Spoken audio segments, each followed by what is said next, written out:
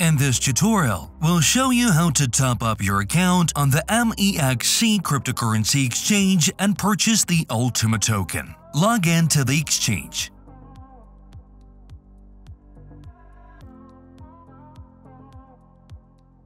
Select Wallets, Deposit. Choose the cryptocurrency you want to send to the exchange from the list and the desired network. Then press Click to generate the address.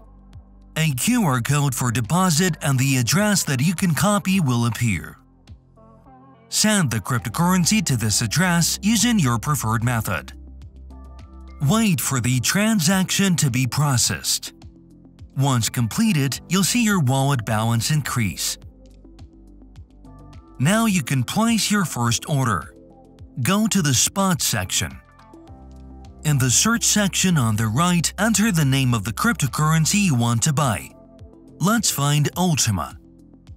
You can buy Ultima at the market meaning current price or set a limit order at your desired price. You can also set a stop limit order to simultaneously set a stop price and a limit price to control the execution price of your trade. Choose the desired order type. Select the price at which you want to buy Ultima for limit orders, the quantity of Ultima you want to purchase, and click the Buy Ultima button. Congratulations! You've purchased Ultima on the MEXC exchange. Now they need to be transferred to the smart wallet. To send tokens from the exchange, you will need to copy the address of your wallet. To do this, open the Smart Wallet application and click on the Ultima card.